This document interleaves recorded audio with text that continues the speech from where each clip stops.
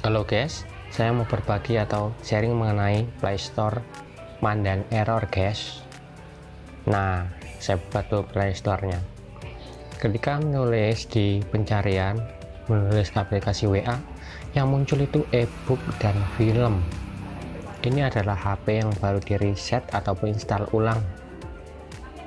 Ini sering terjadi ya guys, di HP-HP yang baru diinstal ulang ataupun di reset bisa tulis Facebook keluarnya film sama ebook juga guys. Caranya sangat mudah guys sebenarnya kalau kalau kita tahu. Tapi kalau belum tahu ya mana nangel guys. Untuk caranya kita kembali sini bagian awal. Kemudian kita pencet aplikasi.